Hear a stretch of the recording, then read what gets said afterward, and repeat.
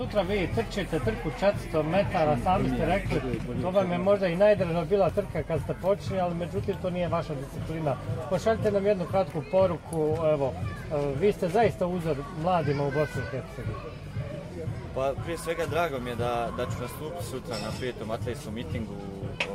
u Sarajevu, u Novom gradu, tako da, da će i, mladi atletičari, djeca moći uživo da, da gledaju, ovaj, da trku, da nekako dam tu svoju zahvalnost, pokažem svoju zahvalnost za sve navijanje, aplauze koji mi daju stvarno i podršku sve ovo, sve ovo vrijeme. tako da evo jedno čekam sutra, to će biti moja prva trka zvanično ove godine, e, 400 metara, disciplina inače koju volim da trčim često, naravno koliko mi trener dozvoli, ali pošto otvaranje sezone, eto, ovaj, trčat ću tu disciplinu i jedva čekam stvarno da dođem sutra.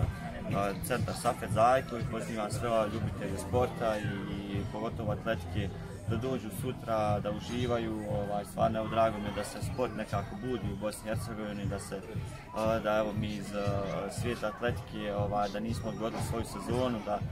da nastavimo da trudimo i hvala vi ljudima koji su ovaj, organizovali ovaj miting. Nadamo se da će biti sljedeći atletski miting u Zenici i još puno mitinga širom Bosne i Hercegovine da, da, ovaj, da nešto iskoristimo ovu sezonu. Tako da vidimo se sutra na Zenu Safe Zajku. I naravno ono što još želim spomenuti jeste da vodimo računa o, svojoj zaštiti, prije svega sebe, tako i drugi stvarno ovaj,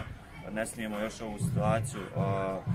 nekako polako shvatiti i misliti da je sve završeno.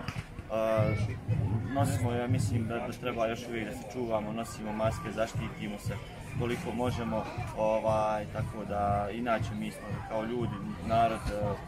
čisti, vodimo računa svoju higijenu, tako da ja to ne trebam puno ni govoriti, ali ipak trebamo se malo čuvati, zaštiti se kako bi ovaj, nam se ne bi ostala takmičenja odgodila, kako bi nastavili s takmičenjima da, da ovaj, se ovo stanje se popravi. Vi ste naravno uzor mladima još samo kratko ću vas pitati, e, zaista doće mnogi mladi atletičar da vas gledaju. E, govorili ste jako emotivno o svom djetinstvu, o tome kako ste postali atletičar. Koja je vaša poruka mladim sportistima, pogotovo atletičarima? Pa, ja sam naučio inače kroz život da se sve vrati i uh, sav, odnos kakav mi dajemo prema drugima, pogotovo prema svojim roditeljima, nama se to vrati kroz život. E, zato sam ja to ispomenuo i ovaj, nekako stavljam akcenat na to da, da sve dobro što radite u životu vraća vam se dobro. tako da evo meni se vratilo dobro na najbolji mogući način da predstavljam svoju zemlju na, na jednom ovakvom nivou. Kako kažem, evo jedini u Bosni i Hercegovini koji, koji, koji ima tu, tu regiju, tu čast i drago mi je da mogu to podijeliti sa, sa svojim ljudima jer dobijam nekako veliku, veliku podršku od, od, od strane svojih navijača i to mi daje jednu dodatnu energiju i motiv da ne odustajem, da nastavim, da se borim na, na, na ovom puta i naravno da, da mlađim uzrastima, djecu pogotovo da, da ovaj, prenesem šta su stvari, najvažnije stvari u životu, šta je jako bitno, kako da se ophodi prema, prema samom sebi, prema svojim roditeljima, prema svojim komšijama,